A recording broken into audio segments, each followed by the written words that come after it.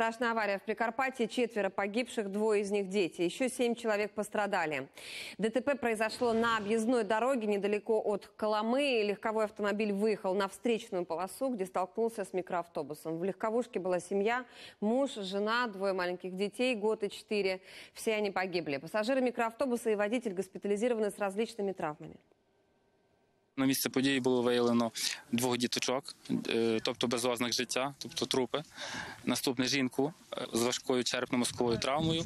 Травма несумісне життя. Жінка, на жаль, по дорозі в лікарню померла. І е, вісім травмованих. Травми були різного ступеня, відкриті переломи.